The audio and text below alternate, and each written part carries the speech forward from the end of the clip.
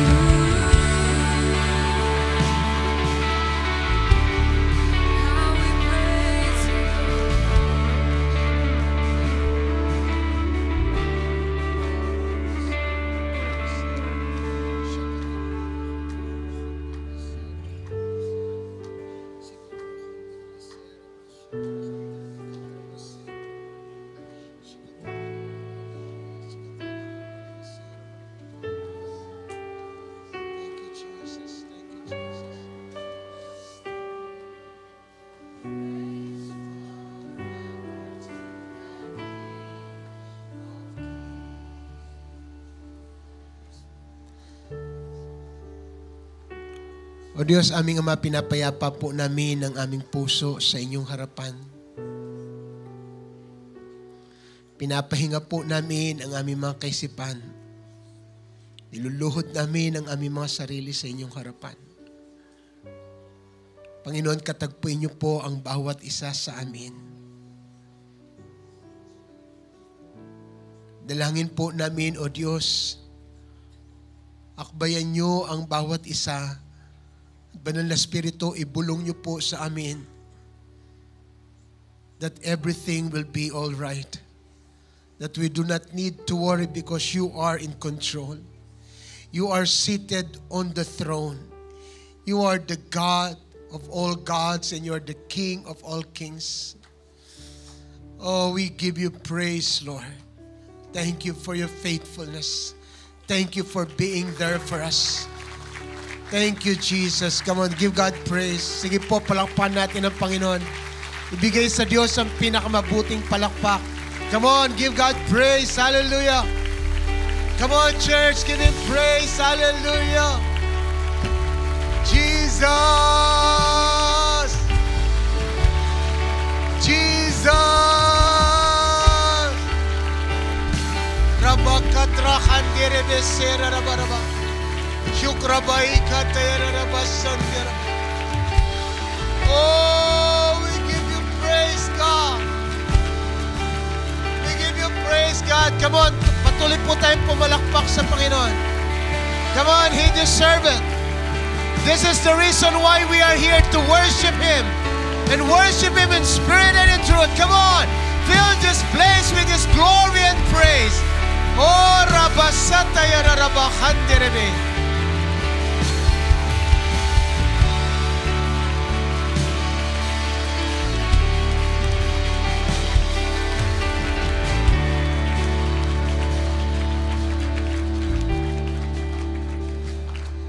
At amin pong itideklara ang inyong kapangyarihan, ang inyong kalwalhatian, at ang inyong karunungan.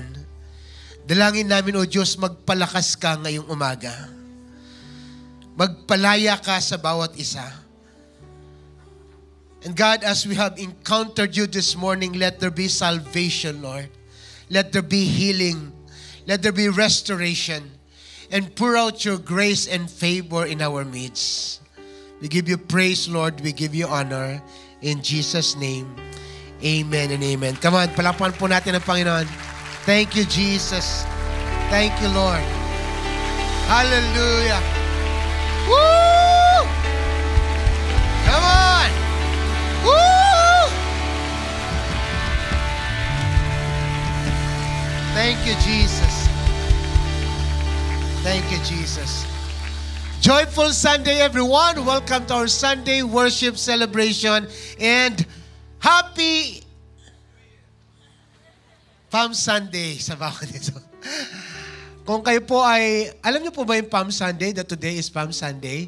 We are commemorating the first day of the week, the most important week in human history. Na uh, sa linggo pong ito, ating inaalala ang uh, life, passion, suffering, death, and resurrection of our Lord Jesus Christ. Kaya napaka-importante po ng araw na ito. Pakisabi po sa inyong katabi, Happy Palm Sunday. Yan. Right?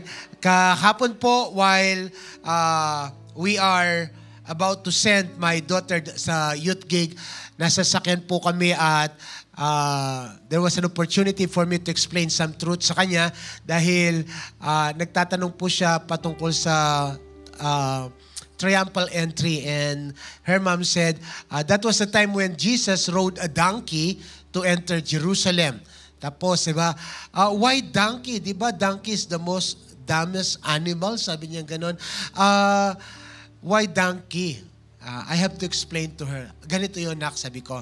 Do you remember when Jesus was still in the tummy of Mary and they need to travel to go to Bethlehem and they rode a donkey? Okay? Now, Jesus, upon entering Jerusalem on the triumphal entry, he rode a donkey. And the reason is, why donkey? So that he can show to us that on the first advent of Jesus coming here on earth, he comes in humility and lowliness because he need to level with us. Nagpakumbaba siya, inabot tayo. But I have to tell her that The Bible tells us in the book of Revelation, in the coming days, when Jesus comes again for the second time, he will not come in humility. He will be riding a white horse in glory and power as the King of Kings and the Lord of Lords. Amen? Come on, palakpakan po natin ang Panginoon. Praise God. Praise God.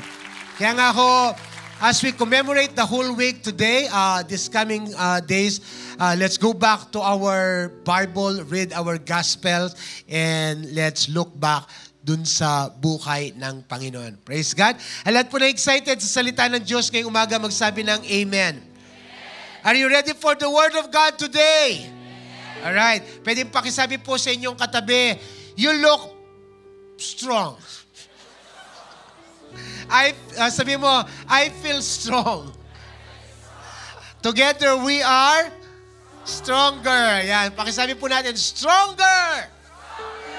Alam niyo po, sa totoo lang, hindi aksidente ng prophetic word natin for this year is stronger because I believe God has a purpose why He is making us stronger. Sabi po ng uh, 1 Peter, For a little while you will suffer, but after that you will be restored and you will be made stronger.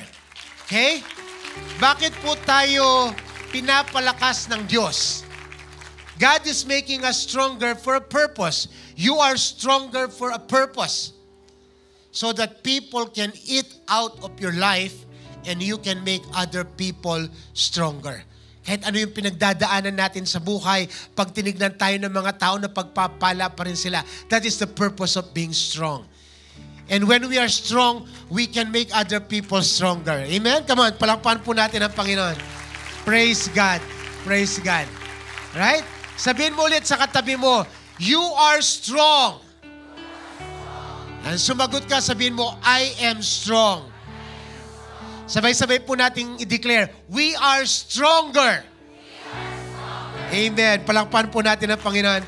Praise God. Tayo po po'y makakaupo na. Allow me to read our text this morning. I'll be reading from 2 Peter chapter 1. Okay?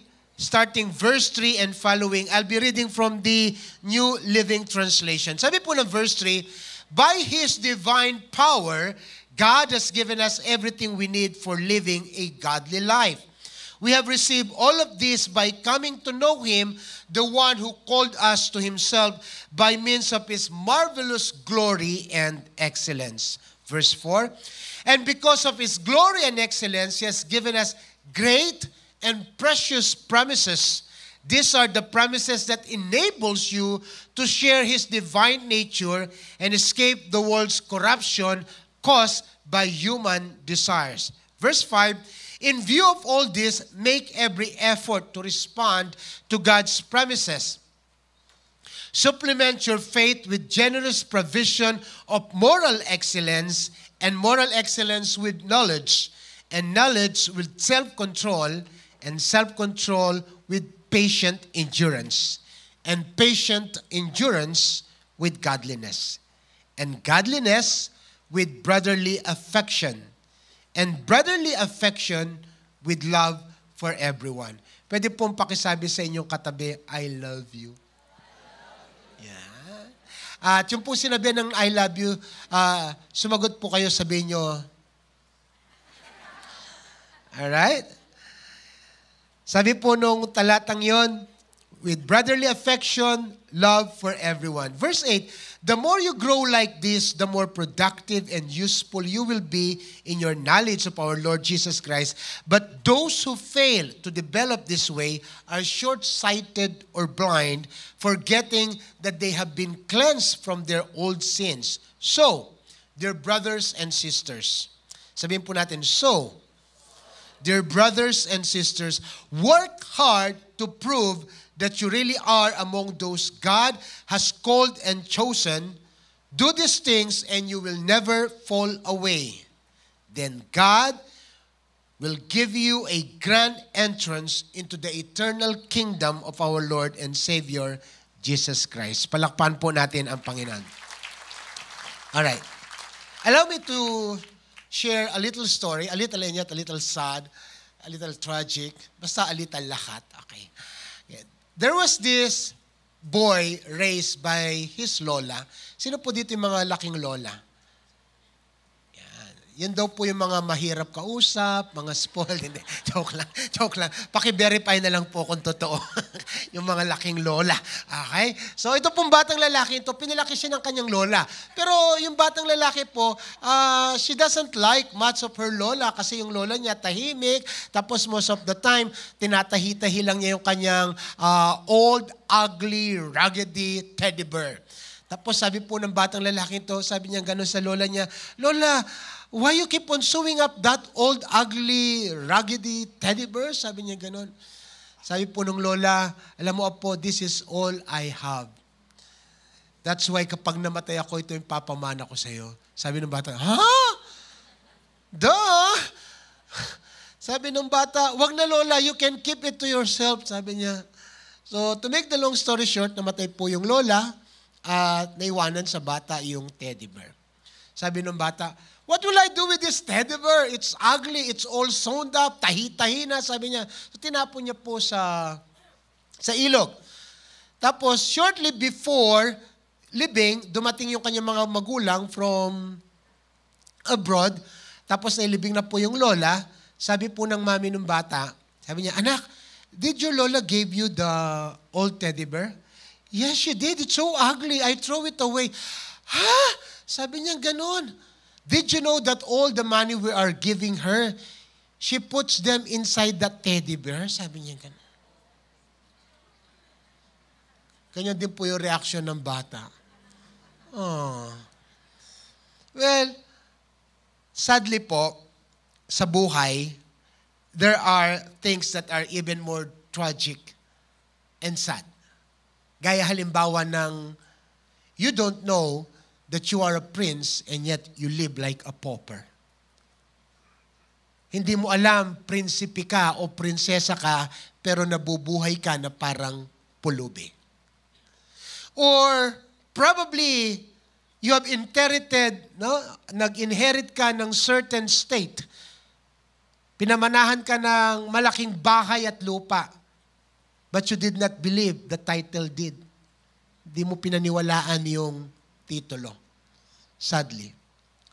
Mas nakakalungkod po yung katotohanan na may kapangyarihan ka pero hindi mo alam. You possesses a great power but you don't realize it. May dahilan kung bakit ang pangalan mo ay Narda.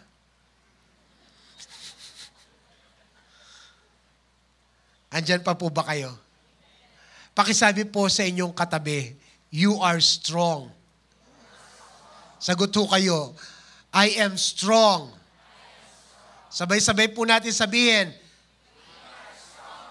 Come on. Ang lahat po ng stronger, magsabing Amen. Amen. If you are stronger, sabihin mo, I've got the power. Got the power. This morning po, let's talk about live powerfully. What's the secret to stronger living? Kailangan po mabuhay tayo dun sa paraan na ang buhay natin sobrang makapangyarihan. Pero kailangan po nating malaman kung ano ang sikreto para makapamuhay tayo stronger.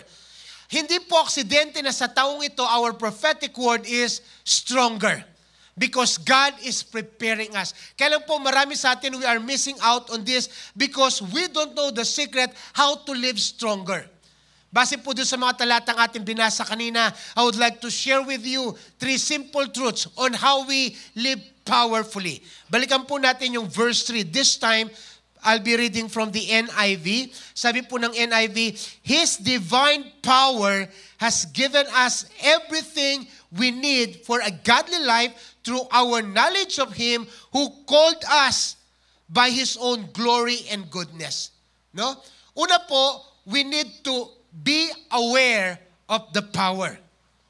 Dapat po, alam natin, huwag nating kakalimutan na may kapangyarihan tayo. Sabi mo sa katabi mo, superhero ka. May power ka. Tanungin ko po kayo, sino po dito ang may Holy Spirit sa buhay? Sino po dito ang binabasa niyang Bible niya? Sino po dito ang nagpipray? All of these are very powerful resources na ibinigay sa atin. But sometimes, we live defeated life because we are not aware of the power that has been deposited in us. Nabubuhay po tayo na tila tilabaga yung buhay natin, talunan, kawawa. Nakalimutan natin na ang Diyos nang makilala natin si Kristo, nang Pumasok sa ating buhay ang banal na spirito. Idineposito sa atin ang kanyang kapangyarihan. You have to understand, it says there, His divine power has given us everything we need for life and godliness. Meaning, kung papansinin niyo po, yung salitang yan, hindi siya present tense. Hindi tayo bibigyan ng power sa mga darating na araw. The moment na na-born again ka, part of that experience, God has deposited that divine nature, that power in you, so that you can live stronger lives. Lahat po na nakakasunod, magsabi ng Amen. Kaya sa totoo lang po, no, this we need to understand. Ang katotohanan ito hindi lang ipinahayag kay Pedro. Kasi si Pedro nung unang uh, the first part of his uh, faith journey. Di ba? Pumalpak siya, nagkamali siya, pero ni-restore siya ng Lord. At pagkatapos siya ni-restore ni Lord, sabi ni Lord sa kanya, uh, You may have suffered for a little while, but after that you will be restored and make stronger so that you can strengthen your brothers. Ang rason po kaya tayo kailangang mabuhay powerfully, kailangan mabuhay stronger because God has called us to make other people stronger. Amen. Amen. Sabi po na Philippians chapter 4 verse 13. Sabi ni Paul, I can do all things through Christ who strengthens me. Amen. Kaya kung marirealize lang ho natin tayo mga Kristiyano, tayo po yung pinaka mapalad at makapangyariang tao sa balat ng lupa. You need to understand that we are just passing through in this life. We don't belong here. We belong to a greater country. We belong to a greater city wherein our Father is the King of Kings and we are going to walk on streets of purest gold. That's where we belong. You need to understand if the standard of this world make you feel that you are little and small, it's okay. Kung pinaparamdam ng mundong ito, sa pamantayan ng mundong ito, kawawa ka, malit ka, okay lang yan. Alam mo bakit? Kasi hindi ka naman taga rito. Kabilang ka sa isang bansa, sa isang mundo na kung saan ikaw ay isang royalty. You are a child of the King of Kings and the Lord of Lords. You don't belong to a first class subdivision. You belong to a mansion over the hilltop. Whose creator is God. Come on, palakpahan po natin ang Panginoon. Come on! Sabi po ng Colossians chapter 2 verses 9 to 10 from the New King James Version. For in Him, meaning Jesus, dwells all the fullness of Godhead bodily, and you are complete in Him. Lahat po ng Kristiyano ay kompleto. You don't need another people to make you complete. You don't need gadget for you to feel complete. Ang sabi po ng Biblia, you are complete. You are complete. Yung mundong ating ginagalawan, the social media, the advertisement, the fake news, they are trying to deceive us. The advertisement is saying that if you don't have this, you are not complete. You need to have this gadget so that you feel complete. You need to live in this subdivision so that you feel complete. You need to have this car so that you will be complete. You need to have a spouse so that you are complete. No! In Christ, you are complete. Come on! Kaya nga ho, sa totoo lang, kung alam lang natin itong, kung aware lang tayo dun sa kapangyaring idiniposito ng Diyos, wala hong lugar sa atin ng insecurity. Wala hong lugar sa atin ng depression. Because ang sabi ng Diyos, part of our inheritance is this. Tuloy natin yung talata. Ang sabi ganun, you are complete in, in Him who is the head of all principality and power. In other words, sabihin po natin, in other words, when you have Christ, you have everything.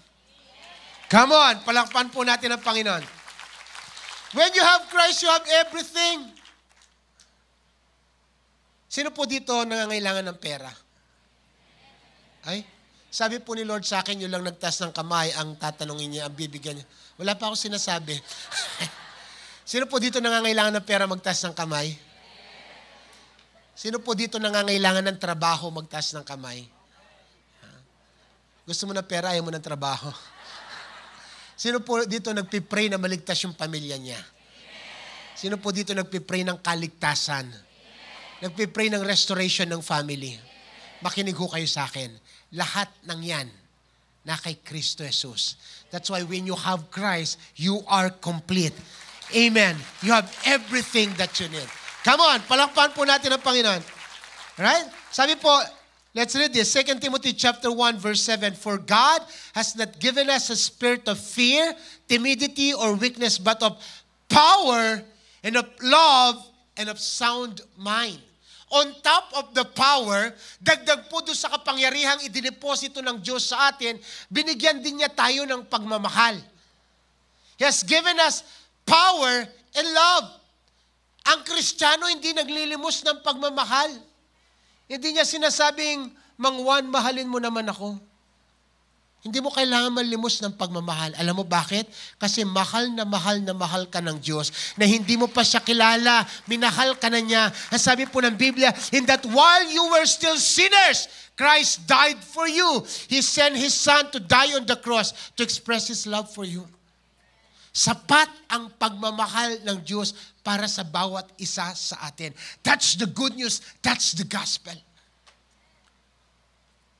On top of Power, love, sabi po doon, sound mind. Sino po dito nakakaranas ng panic attack? Nakakaranas ng kalungkutan, depression, loneliness. Hindi po kayo nag-isa. Nararamdaman ko rin yan. But we have to face the fact that these are not from the Lord. Ang ibinigay ng Diyos sa atin, sound mind. So you can say no to your depression. You can say no to your panic attack. You can say no to your discouragement. You know why? Because God has given you the power to live a life that is centered on Christ. You can have a life that is full of love and sound mind. Come on! That's how we should live. Ganun po tayo dapat mabuhay. Mabuhay sa kapangyarihan ng Diyos. That we are supposedly constantly aware that God has given us His divine power. Hanya pong maborn again tamo. Nung maborn again tayo, nung buksan natin yung ating puso at pumasok ang banal na spirito, kasama doon, idiniposito ng Diyos ang kanyang kapangyarihan, ang kanyang pagmamahal, at ang kanyang katinuan ng pag-iisip sa bawat isa. Amen. Amen. In other words, sa taong born again, lahat ng pangangailangan niya ipinagkalob na ng Diyos. You have everything that you need for life and godliness. Palakpan po natin ang Panginoon. You just have to be aware. Pagising mo sa umaga, i-remind mo ang sarili mo, I've got the power! Alright, ang kagising mo pa nga, ba, nina naman, ha? Hindi po, pagising natin sa umaga, we have to be reminded that God has deposited that power in us. Amen. Amen.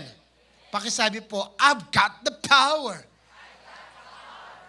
Pag may nakita ka lulugo-lugo, sabi mo sa kanya, lugo? Di ba, anak ka ng Diyos, makapangyarihan ka. Pangalawa po, to live powerfully, the second secret to stronger living is to appropriate that promise. Let's read verse 4. Through this, He has given us His very great and precious promises, so that through them, the great and precious promises, you may participate in the divine nature, having escaped the corruption in the world caused by evil desire. Sa totoo lang po, itong mundong ginagalawan natin, ang daming masasamang bagay ang ini-offer sa atin at minsan dahil meron din tayong makasalanang likas, sunod lang tayo ng sunod. Sunod lang tayo ng sunod sa uso, hindi tayo makatanggi. Pero nang maborn again tayo, nung tinanggap natin ang banal na spirito, when that divine power has been implanted unto us, now we can participate. Pwede na ho tayong tumanggi sa pita ng laman. Lahat ng nakakasunod magsabi ng Amen. Amen. Ganon ka powerful, ganon ka precious ang promises ng Lord. By the way, the word precious came from the word timius, which means valuable or costly. Ang timius po ay Greek word na ang timius na kung saan binuo salita ang pangalang Timothy. Kaya kung asawa mo si Tim, sabihin mo sa kanya, you are precious. Ah, okay? So, pero ang pangako po ng Diyos, mga Timios yan. When we say Timius, precious, they are powerful. Sino po dito may mga Bible? Bible? Okay? Binabasa pong Bible. Okay? Yung mga Bible ho natin, hindi lang yan taga-ipon ng alikabok. Dapat ho, binabasa natin yan. Dahil yan punong-puno ng mga dakilang pangako ng Diyos para sa bawat isa sa atin. That Bible is full of precious promises. Si Peter po, he loves to use the word precious. Kaya kapag nagsusulat siya, palagi niyang sinasabi doon, no? Our faith is precious. The blood of Jesus is precious. The promises of God is precious. No? Mamahalin, mahalaga ang mga pangako ng Diyos. Kaya dapat po yung mga pangakong yun, inaakma natin. Sabi ko nga, anong kwenta ng titulo kung hindi pinapaniwalaan? You have to appropriate it. Anong kwenta ng mga nakadeposito sa bangko kung hindi ginagamit? You have to appropriate it. Okay? Makinig ho kayo sa akin. Makinig ho kayo sa akin. Ang bawat isa sa atin, pinondohan ng Diyos. God has funded your life. And those funds were given to you as precious promises. Anong gagawin natin? Kailangan lang po natin silang i-encash. Makinig ko kayo sa akin. Si Lord, hindi ho siya nag re discount Kapag ipinangako niya, the complete value will be given to you. Come on! Come on, kapag sinabi niya pagpapalain ka, pagpapalain ka. Pag sinabi niya paggagalingin ka, paggagalingin ka. Kapag sinabi niya ililigtas niya yung pamilya mo, ililigtas niya. Those are the promises of God. And sometimes we live like we don't owe anything. We live poorly. We live defeated lives. We have to understand we can live powerful lives. We are called to live stronger lives. Why? Pinonduhan tayo ng Diyos. Nilagyan tayo ng kapangyarihan. At pinangakuan niya tayo. At ang lahat po ng pangako ng Diyos, sa Kanya all God's promises are yes and amen. Hindi ka pwedeng lumapit sa Diyos at magwi-withdraw at sasabihin niya sa'yo, sorry, uh, insufficient balance. Walang ganun si Lord. Because our God is more than enough. And before you even needed it, He already provided it. Come on! Palakpan po natin ang Panginoon. makinig kayo sa akin. Kung dun sa, sa una sinabi ko is that, when we have Jesus, we have everything that we need. Dito po, pakinggan niyo ako. Sino po dito ang may mga pangangailangan? Uh, categorically, no, lahat ng pangailangan, kayang to pa rin ng Diyos. Alam niyo po bakit?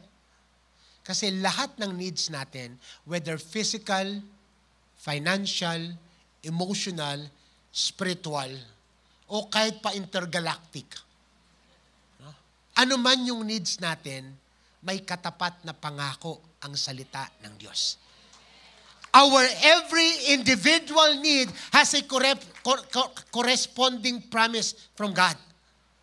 Kaya, ma-realize lang natin ito, sobrang ang sarap mabuhay.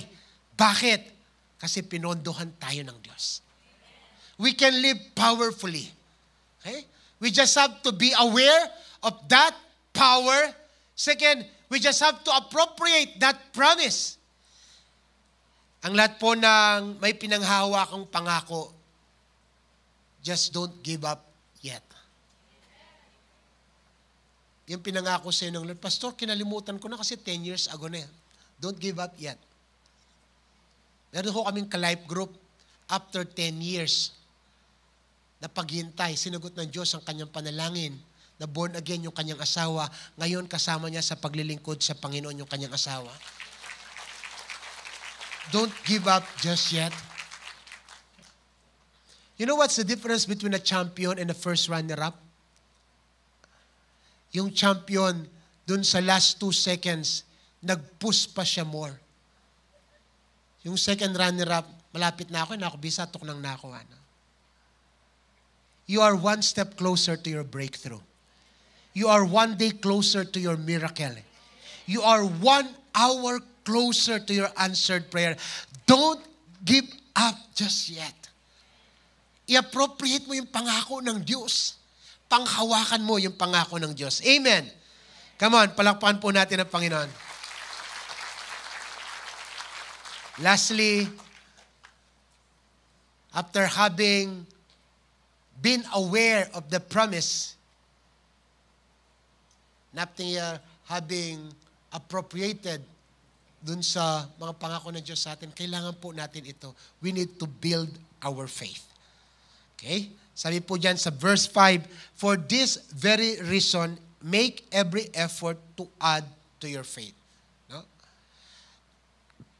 Mag-effort ho tayo na madagdagan, lumago mapatibay yung ating pananampalataya. Sabi po uh, ni Pedro, hindi sapat yung na-born again ka lang. Kailangan mag-grow ka sa yung pagiging kristyano. Hindi sapat yung nakakilala ka lang. Dapat mula sa pagkakakilala mo, the, the, the life of faith is a journey It doesn't stop nung tinanggap mo si Kristo. Pagtanggap mo kay Kristo, meron kang kailangan pang gawin. Kailangan magpatuloy. You need to grow in faith. Kaya nga po, for us to live powerfully, we need to build our faith. At si Peter, doon sa mga talatang binasa natin, nagmungkahi po siya ng mga karagdagang hakbang or building blocks in our faith na kailangan po nating i-consider. Let me read this sa New King James Version. Sabi po na verse 5, but also for this very reason, giving all diligence. When we say diligence, ibig sabihin, pinagpupursigihan mo. You don't only add effort, but you give diligence. Sabi niya dyan, but also for this very reason, giving all diligence, add to your faith virtue. Hindi sapat yung pananampalataya lang. Dapat may bait. Andiyan pa po ba kayo? Dapat may gandang asal. Kaya nga minsan marami na to turn off sila sa mga born again kasi pinapangalanda ka nilang born again sila, wala namang bayat. Akala ko bang born again yan? Ba't ganyan siyang umasal?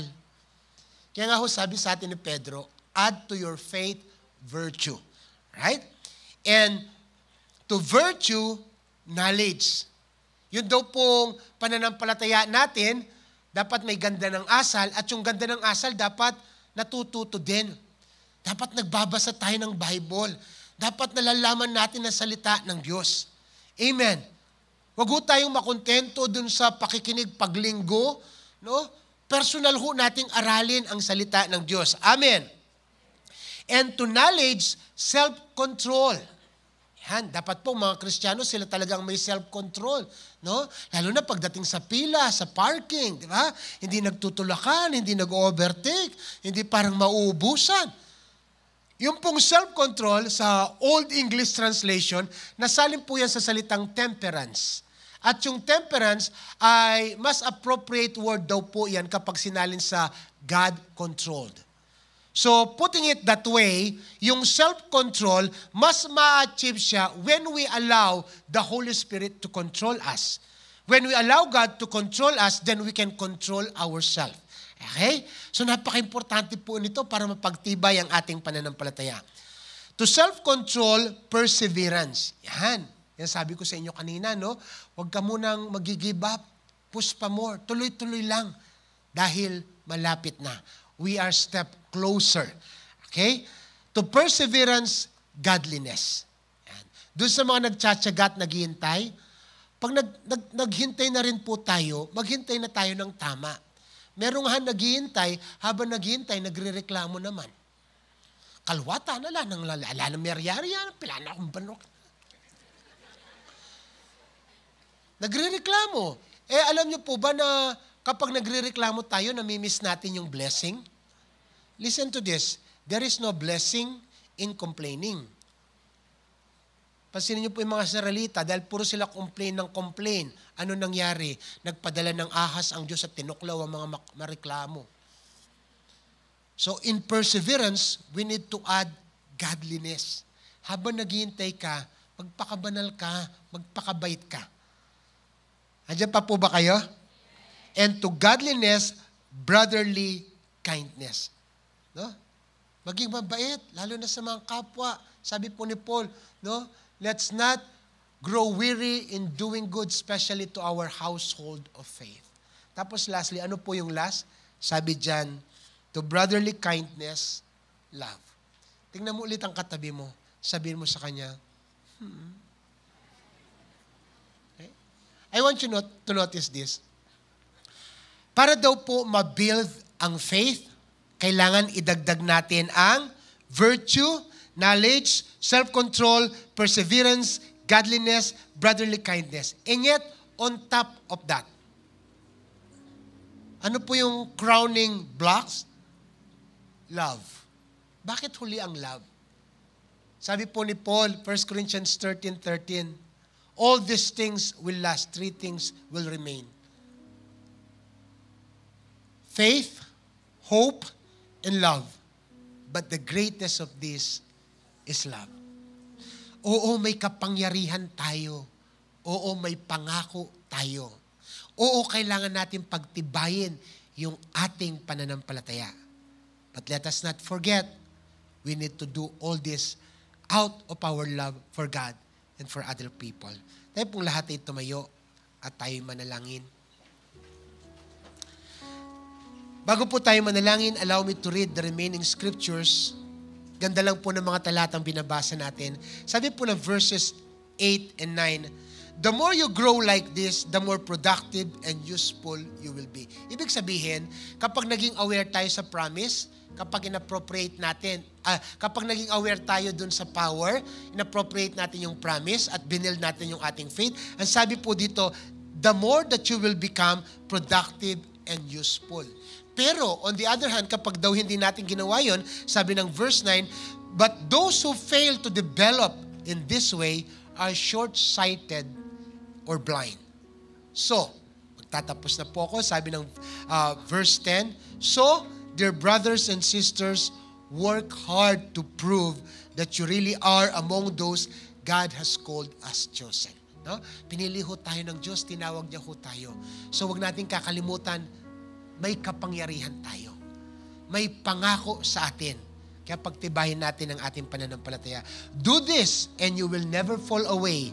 Then God will give you a grand entrance into eternal kingdom of our Lord and Savior, Jesus Christ. Tayo pong lahat ay umukot manalangin. O Diyos, aming Ama, pinagpapala ka po namin at dinadakila.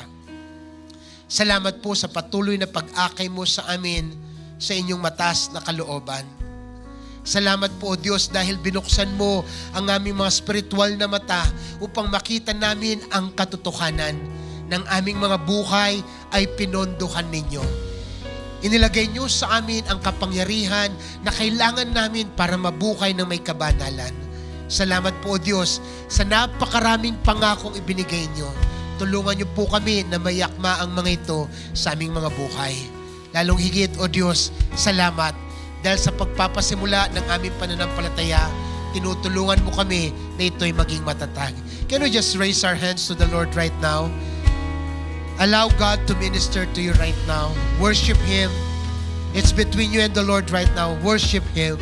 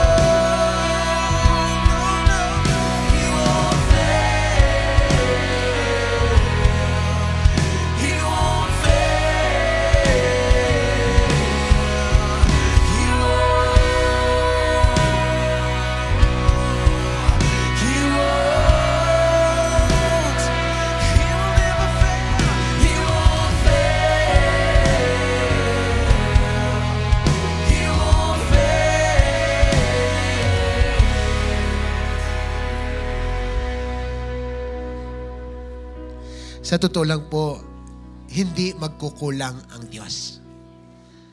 Bago pa man natin siya kilalanin sa ating mga buhay, pinondohan na niya yung ating pananampalataya. Jesus died for us. Kaya nga po ba gusto kong buksan ang altar ngayong umaga sa bawat isa, lalo na po sa mga bisita namin who came for the first time. Kung gusto niyo po na maranasan itong kapangyarihang pinag-uusapan natin at angkinin ang mga pangakong kaloob ng Diyos, Nagpapasimula po lahat yan sa personal na relasyon kay Kristo. If you want to start that lifelong journey of faith, open your heart to the Lord. Gusto ko pong samahan kayo sa simpleng panalangin. Tayo pong lahat ay yumuko. Sumunod po tayo sa ganitong panalangin. Sabihin natin, Panginoon, binubuksan ko ang aking puso. Pinapapasok ko si Kristo bilang aking sariling Diyos at personal na tagapagligtas patawarin niyo po ako. Inaamin ko, ako ay ligaw, wasak, at makasalanan. Simula po ngayong araw, isasandal ko lang ang aking pagtitiwala sa lahat ng ginawa ni Kristo sa krus ng Kalbaryo. Salamat po sa kapatawaran, sa kaligtasan, sa buhay na walang hanggan, at lalong higit, O Diyos, sa pag ampon nyo sa akin bilang inyong anak. Pupurihin ko po kayo, paglilingkuran ko kayo, susunod ako sa inyo.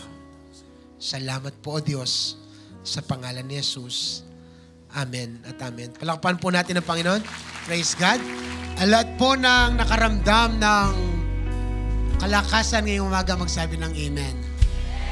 Do you feel strong today? Do you feel stronger? Amen. Parang yung amen niya pahina na pahina na. Do you feel strong today? Amen. Do you feel stronger today? Sabay-sabay natin sabihin, I've got the power. Come on, raise your hands. I would like to bless you with the word of prayer. The Lord bless you and keep you. The Lord make his face to shine upon you. The Lord be gracious with you. The Lord bless you with divine power. The Lord bless you with divine power. The Lord bless you with precious promises. The Lord bless you with precious promises. The Lord bless your life of faith. The Lord bless your life of faith. In the name of the Father, the Son, and the Holy Spirit. And all God's people will say, Magandang umaga po and God bless.